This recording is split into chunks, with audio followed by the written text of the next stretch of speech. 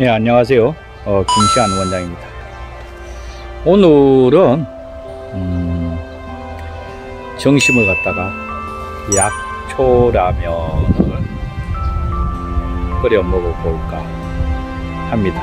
그래서, 어, 산야초, 즉, 약초를 갖다가 재료를 갖다 채취를 해서 맛있게 약초라면을 끓여 먹겠습니다. 그러면 재료를 한번 음, 채취를 해 보겠습니다. 이 앞에 있는 요게 뽕나무 잎, 뽕나무죠, 뽕나무. 여러분들 잘 아시죠, 그죠? 뽕나무 같은 경우를 갖다가 이렇게 아, 세 손으로 이렇게 채취를 하게 되면 하얀 그 진액이 나옵니다. 아주 좋죠, 몸에.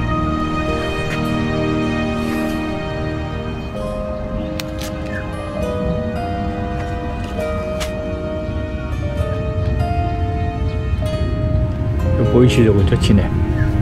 아.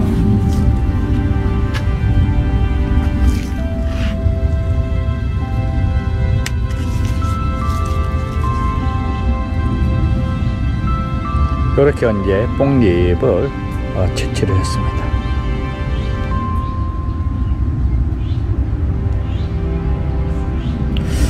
어, 조금 향이 좀 필요하죠, 그죠?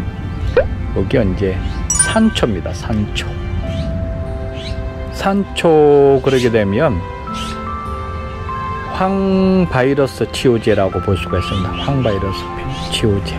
그게 무슨 얘기인가 하게 되면 아토피라든가 감기라든가 아, 피부 질환에 관계되어 있는 것을 치유를 해주죠.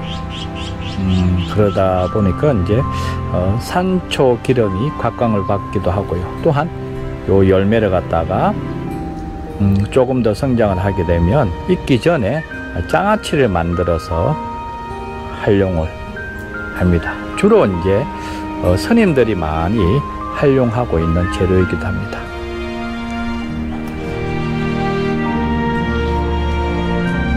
아, 산초 향이 아주 음, 진하게 음,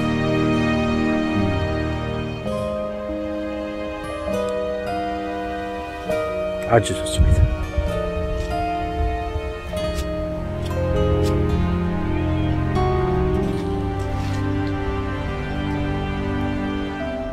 그러면 다른 재료를 한번 살펴볼까요?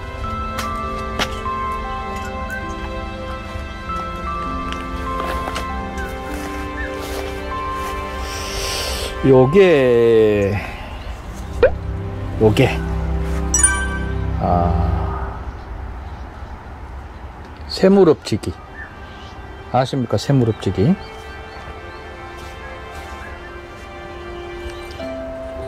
새무릎지기는 뿌리를 갖다 우술이라고 하죠. 새의 소의 아, 무릎처럼 생겼다고 해서 어, 새무릎지기라고 하는데요.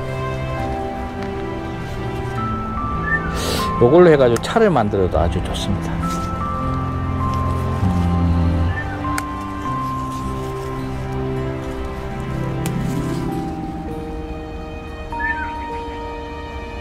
뼈 관절에 최고죠. 어, 저는 이제 요 시기 때는 순을 채취를 해서 어, 약초라면 원료로도 사용하지만은 또한 이제 차를 만들어서 활용하기도 합니다. 방아입니다, 방아. 방아 아십니까? 어, 국산 허브라고 말할 수가 있죠. 방아잎 같은 경우에는 저 경남 쪽 쪽에서는 어, 추어탕이라든가 많이 들어가죠 추어탕이. 향이 굉장히 좋습니다 향이. 음, 음 향이 아주 좋습니다. 여기 이제 왕꼬들 빼기.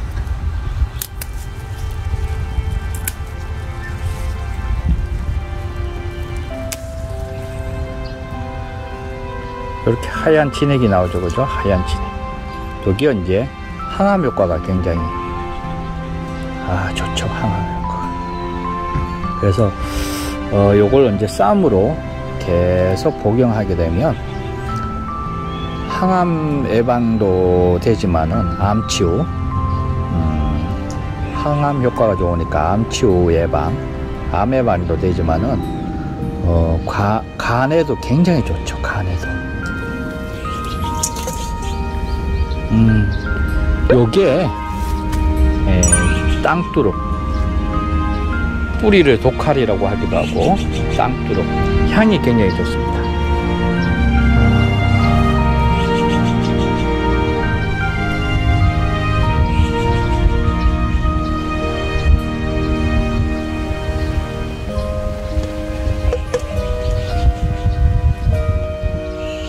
지금은 이제 음, 약초 라면을 어, 끓여 먹기 위해서 어, 재료는 지금 다 채취를 했습니다. 그러면 음, 요걸 어,